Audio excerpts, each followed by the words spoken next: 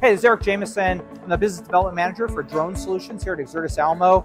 Uh, I just wanted to walk you guys through the idea here is that we're having AV integrators be able to connect the dots to understand drones and how they apply into uh, the space for them.